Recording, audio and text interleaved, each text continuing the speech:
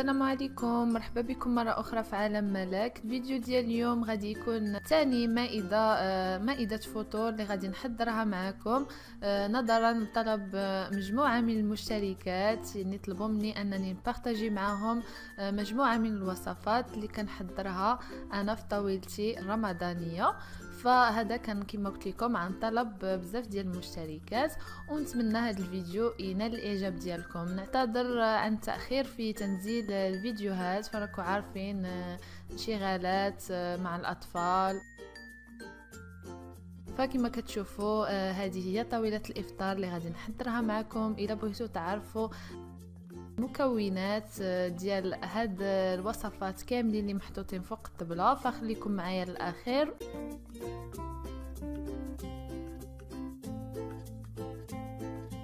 وكما كشفتوا في الطاوله كان محطوط البطبوط دابا غادي نوجد العجينة ديال البطبوط ديجا درت لكم فيديو على العجينة ديال البطبوط كيفاش كدير تصايب فأنا وضعت السميدة الرقيقة اللي هي الفينو والدقيق وشوية ديال الخميرة ديال العجين وشوية ديال الملحة.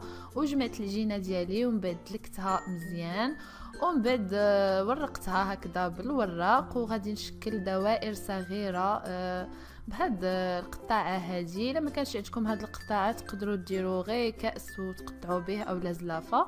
ودابا غادي نخليهم يخمروا هكذا فوق من واحد المنديل اللي هو نقي. ومن بعد ما يخمروا غادي نطيبهم هكذا في مقلاة اولا طاجين إلا عندكم طاجينة. صافي من بعد ما طابو غادي ندوز باش نوجد الحشوة ديال هذا البطبوط هذا. اليوم غادي ندير غير حشوة باردة يعني ما غاديش نطيبها. هنايا كما شفتوا درت الطون أنا كنستعمل الطون ديال الماء. تقدروا تستعملوا الطون ديال الزيت غير هو تصفيوه مزيان بهذيك الزيت. وقطعت جوج بصلات هكا طوال.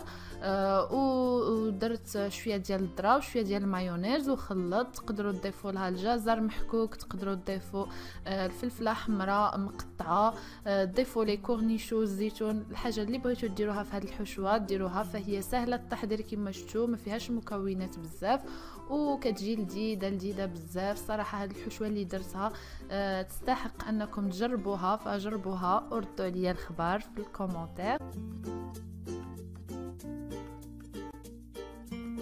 voilà كما كتشوفوا أنا كنعمر البطبوط ديالي.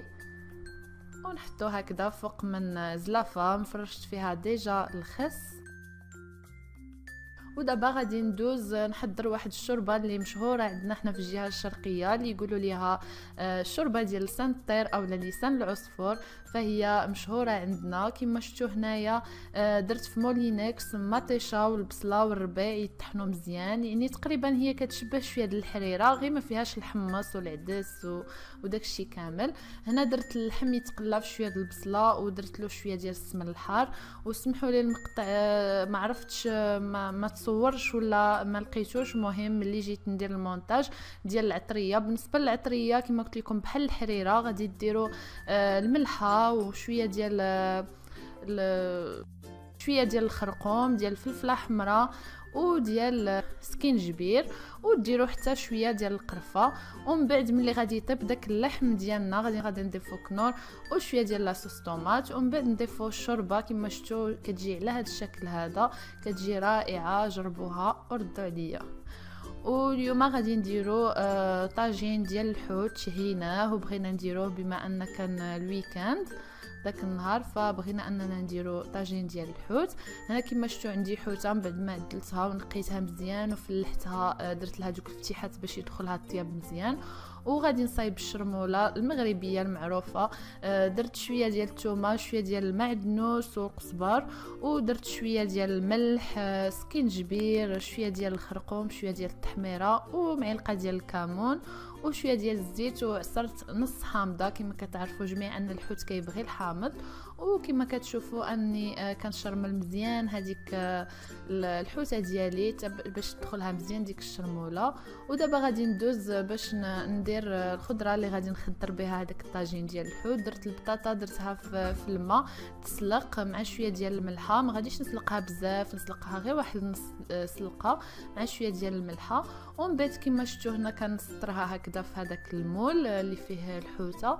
ومن بعد كندير عليها شوية ديال المعدنوس والثومه لأن هي déjà درت لها الملحة سلقتها في داك الماء ديال الملحة وداك الماء اللي سلقتها فيه كنضيفو في الطاجين ما كنلوحوش حيتاش كيعطي آه كيكون فيه جميع الفيتامينات ديال البطاطا. ومن بعد درت شوية ديال الفلفل الأسود فوق من البطاطا ديالي وسترت هكذا الحامض آه، مصير والفلفلة حمراء وخضراء وصفراء كانوا عندي déjà في في المجمد ودرت شوية الزيتون وفي الاخير ضفت شوية زيت الزيتون.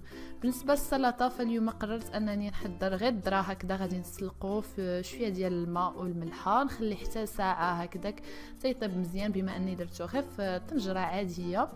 ومن بعد غادي ندخلو هكا في هاد les cordons آه اللي كتعطيه شكل جميل وكتسهل عليك الأكل ملي تجي تبغي تناوليه تشديه بهذوك les cordons ودابا غادي نحضر واحد المقبلة اللي هي رائعة كتجيب بالروز والكريفات بالروز والكريفات آه فكما شفتوا أنا درت déjà الروز يتسلق في الماء والملح الروز البسمتي هذاك الصفر ماشي الروز الابيض آه، من الأحسن تاخذوا الرز البسمتي وهنا غادي نوجد الصلصة فاش غادي يطيب آه، الكريفات اولا القمرون بالنسبة للمتتبعات اللي في الدول العربية القمرون هو الكريفات أه وهنا درت لاصوص كما شفتوا حكيت مطيشة ودرت شوية ديال المعدنوس شوية ديال الثومه وشوية ديال الملح وشوية ديال الفلفل الأسود. ودرت معلقة صغيرة ديال لاصوص طوماط وغادي نخلي ديك لاصوص حتى طيب مزيان وتشرب كاع داك الماء ومن بعد غادي نضيف الكروفيت من بعد ما قشرته وغسلته مزيان غادي نضيفو لهذيك لاصوص ونخليه يطيب كما كتعرفوا جميع الكروفيت ما كيحتاجش بزاف الطياب غير واحد جوج دقائق اولا ثلاثة. وصافي وغادي نضيف الروز اللي سلقته كما شفتوا الروز كما قلت لكم آه ما تاخذوش هذاك اللي كيتعجن. من الأحسن تبقى هكذا حبة يعني حبة مصوله على حبة كتجي رائعة هذه المقبلة. كنصحكم أنكم تجربوها. يعني هذه أنا دائما ملي كندير الحوت سواء مقلي أو لا طاجين كنرافقوا بهذه المقبلة هذه ديال الكرافيت بالروز. كتجي رائعة جدا. صافي دابا ملي قرب المغرب غادي ندير هاد المقبلة هذه في, الأطباق ديال التقديم فاختاريت أني نقدمها بهذا الشكل هذا بإمكانكم أنكم تقدموها بالشكل اللي بغيتو فهي كتكال ساخنة من الأحسن أنها تكال ساخنة أو دافئة وتقدروا تأكلوها كاين اللي كيبغي يأكلها باردة ولكن أنا كنفضل أني نأكلها آه، سخونة فهي كتجي رائعة. صافي كما شفتوا أنا قدمتها هكذا في هذا الطبق هذا وأنا من الأحسن نزوقها بكروفيت اللي هو ما مقشرش ولكن هنا ما كانش متوفر عندي. وزوقتها بهذاك السوريمي هكذا والخس والحامض يعني آه، كما قلت لكم ذوقوا بالشكل اللي بغيتو. ودابا غادي ندوز نحضر العصير. بالنسبة للعصير هنايا قطعت البنان والكيوي وغادي نضيف له عصير ليمون اللي أنا عصرته من قبل وصافي ونضيف السكر يعني حسب الرغبة. وغادي نطحن هاد العصير ديالي. يعني أنا لي فخوي اللي كيكونوا متوفرين عندي كنصنع بهم عصير. ماشي ضروري يعني عصير بغوسات معينة.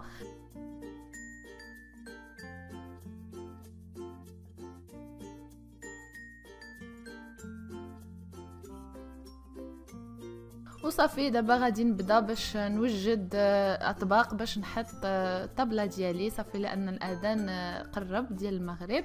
أنا وجدت هنا جميع الأشياء اللي غادي نحطها في الطبلة كما كتشاهدوا في الصور.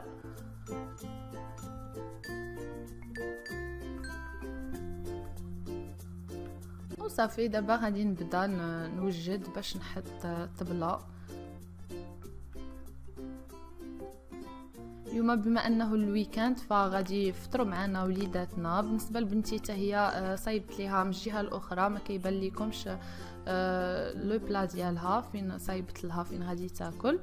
وبالنسبة لولدي فهو آه، كان عشيه بكري وما كيبغيش يجلس معنا في الطبلة كيبقى يلعب. كما كتشاهدوا هنا قمت درت كل شيء الأشياء حطيتهم فوق من الطبلة.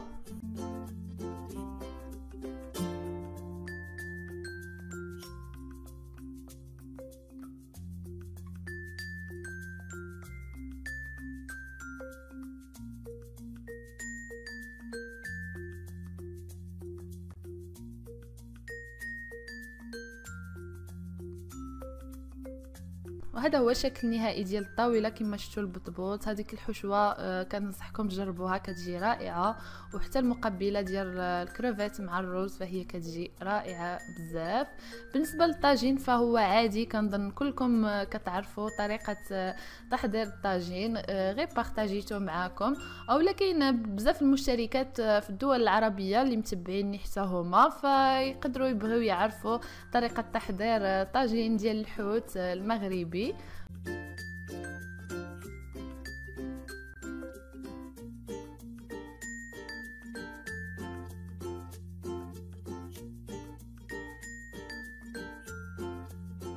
والذرة حتى هو كما قلت لكم ديك الفكرة ديال أنكم ديروها في هذوك لي كوردون هذوك العويدات فهي كتجي رائعة تسهل عليكم الماكلة وتعطيهم حتى شكل زوين.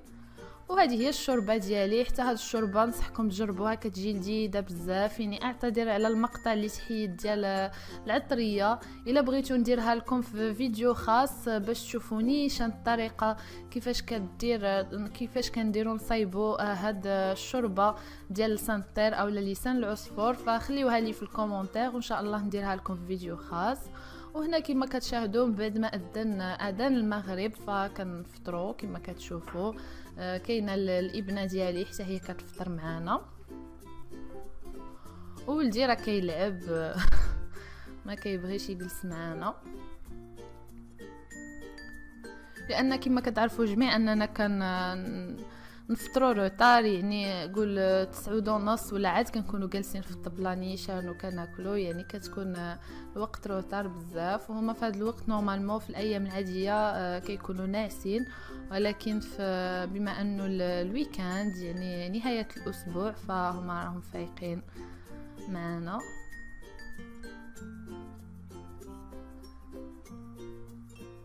et voilà كان هذا هو الفيديو ديال اليوم نتمنى يكون نال الاعجاب ديالكم ما تنساوش الا عجبكم الفيديو ديروا like وتبارطاجيوه مع العائله والاحباب واذا كنتي مازال ما مابونياش في la chaîne ديالي تابوناي هكذا باش يوصلك الجديد ديالي ونتلاقاو ان شاء الله في الفيديو الجديد حفظتكم bye bye